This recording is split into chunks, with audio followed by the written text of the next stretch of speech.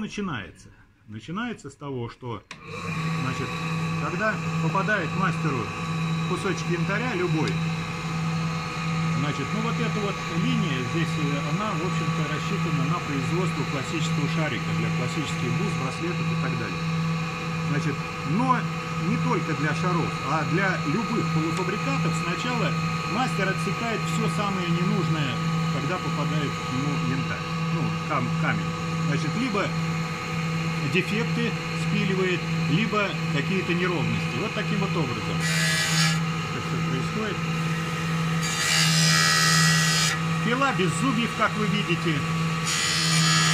Значит, здесь всего лишь напыление.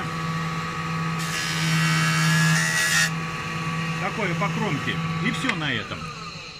Значит, здесь нужно в идеале получить ну, такой кубик, вот, если, для, если мы говорим о производстве шаров.